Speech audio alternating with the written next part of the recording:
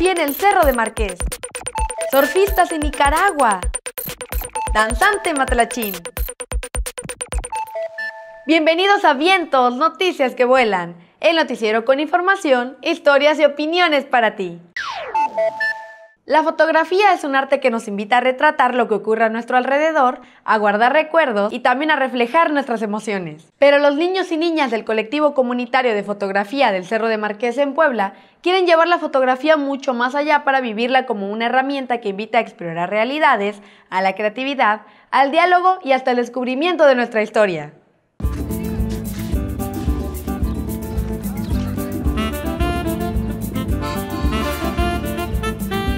Donde nosotros vivimos es donde el Cerro del Marqués. Es un juego de pelotas.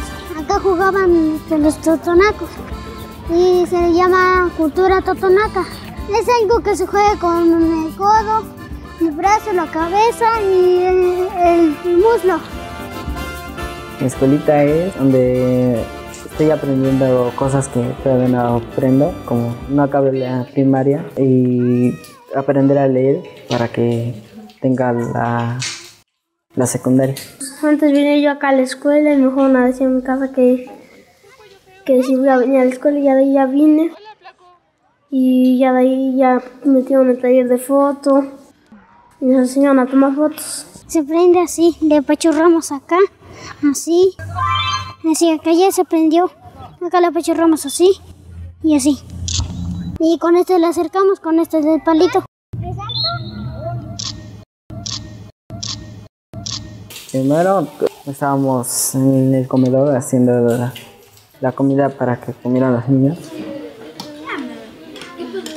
Hay días que limpiamos, barrimos y regamos el huerto. Y a la vez ya nos podemos estudiar.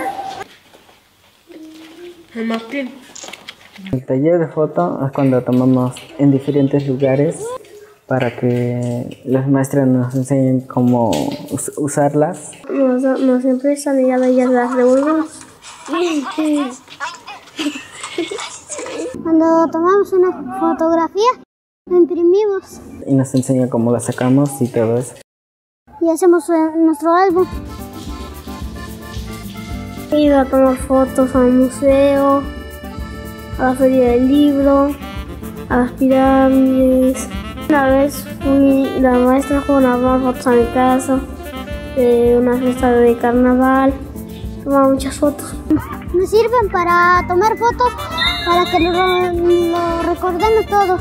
Me gusta tomar fotos para enseñarle a las maestras, para que lo pongan en nuestro salón y nos digan de quién tomó las fotos. Sí, gracias porque las maestras me ayudaron a muchas cosas que yo no, no sabía y todo eso.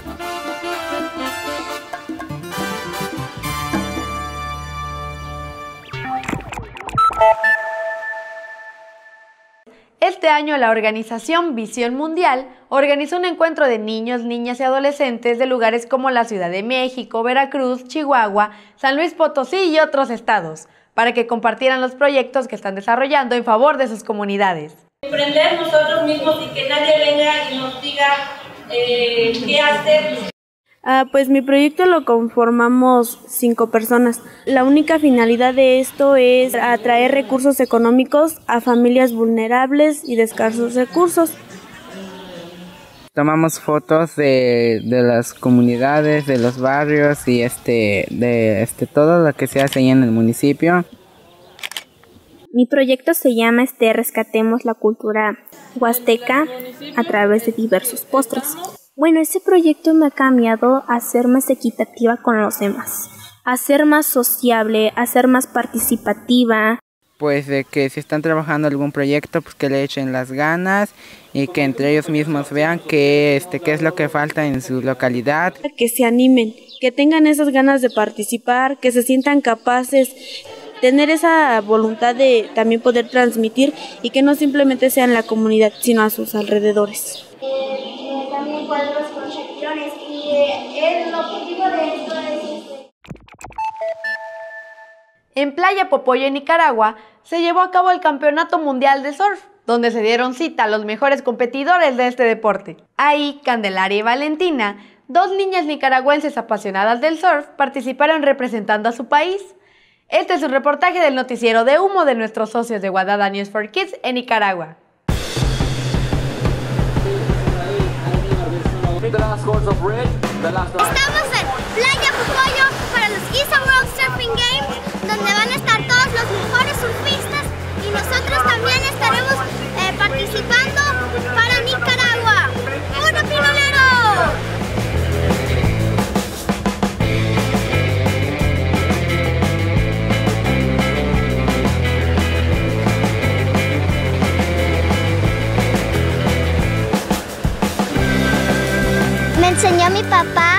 los dos ahí en una playa, en un beach break. Yo empecé a surfear con un año, digamos, en el río, acostada en la tabla con mi papá. Y ahí, em, en ese tiempo yo no quería surfear porque cuando eres así chiquita, sabes, no, no es algo que te gusta tanto hacer, pero cada vez me va gustando más y más y más.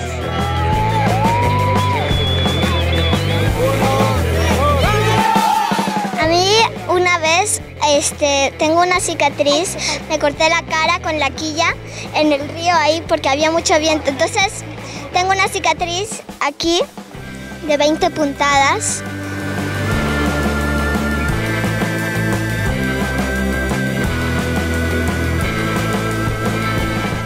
Continúe porque si eres deportista te va a pasar algo.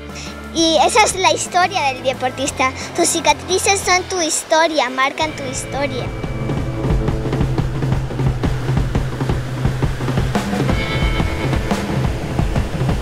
Siempre hay un poquito de miedo ahí que te está molestando. Eso me parece que es lo más difícil del surf. Sabes, quitar los miedos, la voz en tu cabeza que te dices que no puedes, que te va a pasar algo. Eso es lo más difícil del surf.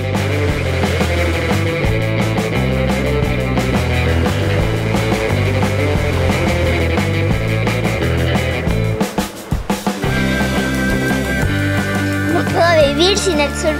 A mí me encanta, es una, es un, es una manera de conectarme con la naturaleza y sin el surf no sé qué haría. No estoy nada nerviosa porque yo no tengo nada de perder. Tengo apenas 11 años y esto es un mundial de mujeres, sabes, grandes. Entonces para mí lo que yo quiero hacer es surfear lo mejor que puedo y demostrarle a la gente que sí hay nivel en Nicaragua y que yo est- estoy entrenando muy duro. Y si quieren surfear, demuéstrenlo. Denle todo lo que tienen si quieren surfear. Y que nada es imposible y que los espero ver surfeando en el agua. ¡Surfear es de humo!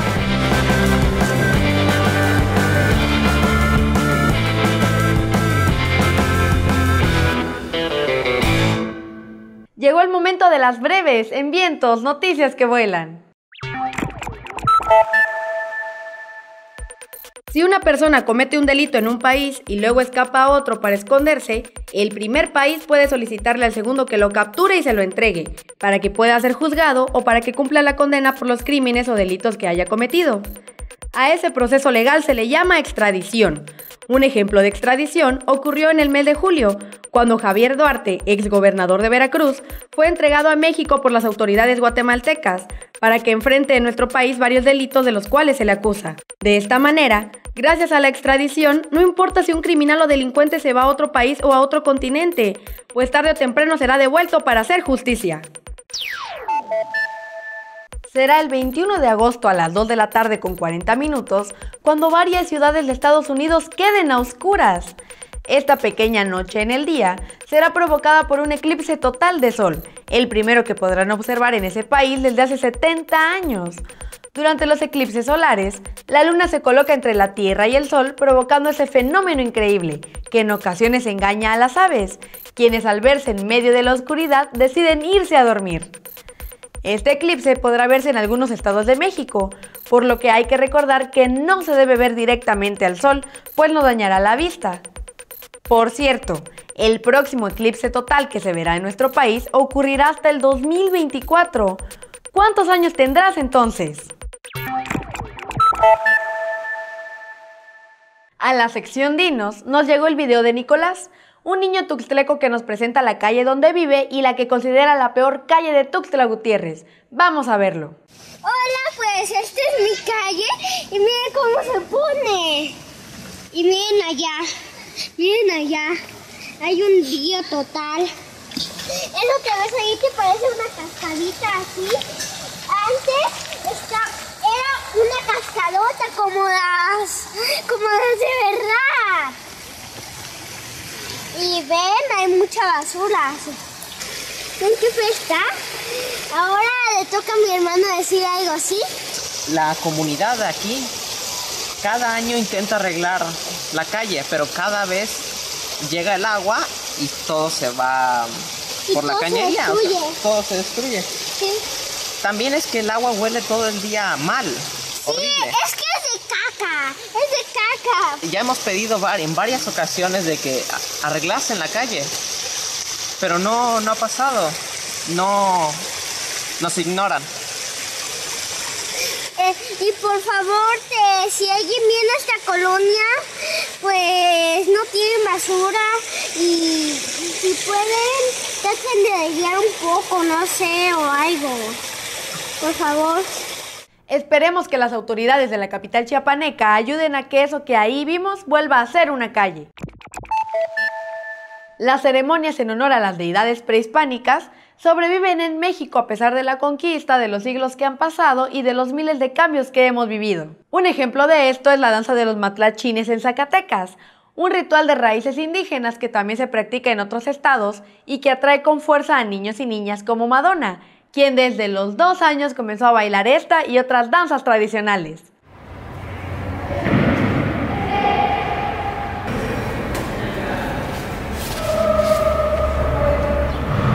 Yo bailo danza árabe y desde lo empecé a hacer a partir de los tres años y el ballet lo empecé a hacer ocho meses más o menos y tenía nueve años y los empecé a hacer porque me atraía el sonido y dije yo lo quiero hacer y aparte porque me gusta mucho bailar.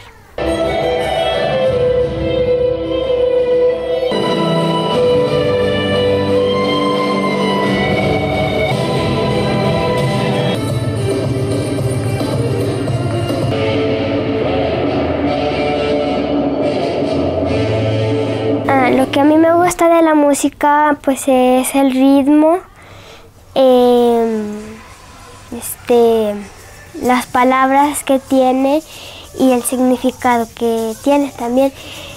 Y pues los instrumentos que toco son la flauta, el violín y la, el violín y la guitarra.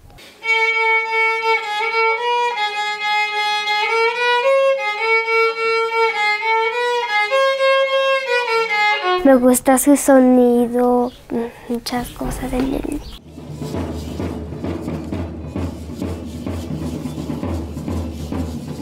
Cuando yo vi a mi mamá este, danzar como matlachín, a mí me nacieron las ganas y ahí empecé. Yo le dije que quería hacerlo.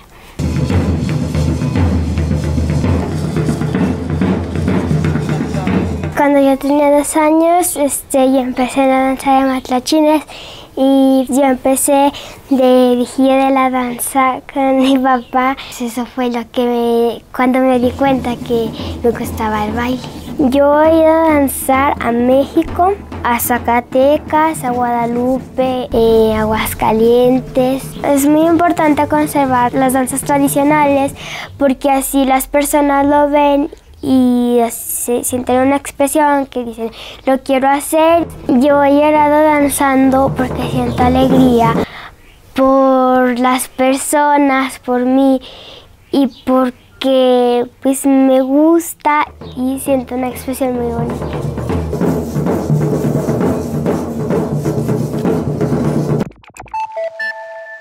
Muchísimas gracias por habernos acompañado el día de hoy. Por ahora hemos llegado al final de tu noticiero. Si tienes sugerencias, comentarios o quieres compartir un video con nosotros, no lo dudes y envíalo a info.vientos.tv o a través de nuestra página web.